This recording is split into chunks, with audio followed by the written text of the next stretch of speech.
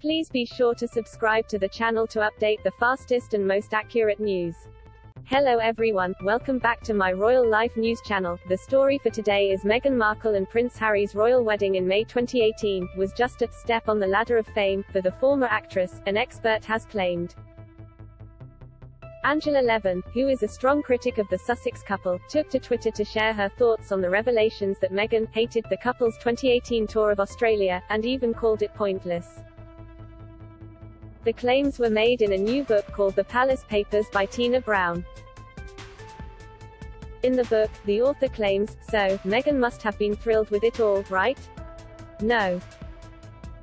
She apparently hated every second of it, and she even cites a supposed member of staff from Buckingham Palace, who told her, she didn't understand why things were set up in that way, the itinerary.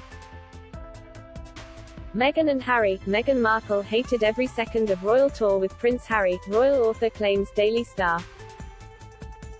Meghan Markle told We've all moved on as royal critic questions Spotify project Daily Star. Instead of being excited when thousands of people showed up at the Opera House, it was very much like, what's the purpose? I don't understand this. And Levin, a longtime royal commentator and biographer tweeted, no surprise there then. Meghan was preparing to leave the royal family ASAP after she got married.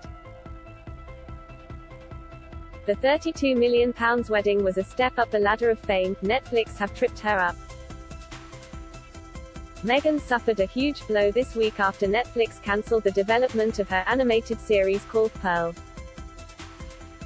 It was done as a cost-cutting measure, after the streaming giant announced its first ever drop in subscribers earlier this year.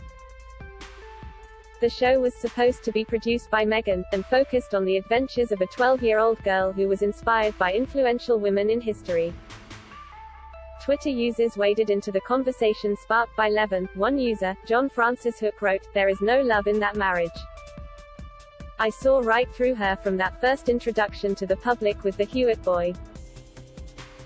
It all looked so false, and how right I have been proved, and another tweeted, sums her up beautifully. Wanted the wedding but none of the duty, makes me sick when I think about the fuss we all made of them, the country was thrilled. That is all for today news, please make sure to leave your comment and subscribe the channel below for more news update.